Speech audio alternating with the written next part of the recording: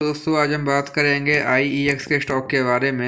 X के stock में next trading week के लिए क्या सपोर्ट रजिस्ट्रेशन देखने को मिल सकते हैं, उसके बारे में आज इस वीडियो में में बात करेंगे।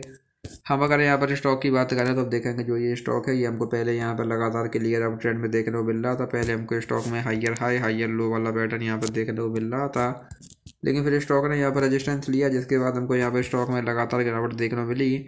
लेकिन अभी पिछले कुछ ट्रेडिंग सेशन से हमको यहाँ पर स्टॉक में रिकवरी भी देखने को मिली है, वो भी यहाँ पर स्टॉक के सपोर्ट लेवल से। आज भी हमको स्टॉक में zero point seven four percent की यहाँ पर तेज़ी देखने को मिली है। तो यहाँ से अभी हम स्टॉक में बात करें, यहाँ से अगर अभी स्टॉक में और तेज़ी आती है तो यहाँ से भी और तेज़ी की कंडीशन में हमारे पास यहाँ पर स्टॉक में वन एटी का पहला यहाँ पर रजिस्ट्रेशन देखने को मिलेगा। अगर स्टॉक इसको भी यहाँ ब्रेक करता है देन यहाँ से हमको स्टॉक में टू हंड्रेड ट्वेल्व और अगर स्टॉक ने इसको भी यहाँ ब्रेक किया देन यहाँ से हमको स्टॉक में अगेन एक बड़ी तेज, एक बड़ी बाइंग यहाँ पर देखने को मिल सकती है। इसके बाद हमको यहाँ पे स्टॉक में टू फोर्टी फाइव और टू एटी थ्री हंड्रेड तक के लेवल से भी यहाँ से अभी देखने को मिल सकते हैं। वही यहाँ से अब अगर स्टॉक में गिरावट आती है तो यहाँ से गिरावट की कंडीशन में हमारे पास यहाँ पर स्टॉक में वन सिक्सटी का पहला यहाँ पर सपोर्ट देखने को मिलेगा। अगर स्टॉक इसको भी यहाँ ब्रेक करता है देन यहाँ से हमको स्टॉक में वन फोर्टी टू तक के लेवल से भी यहाँ से अभी देखने को मिल सकते हैं।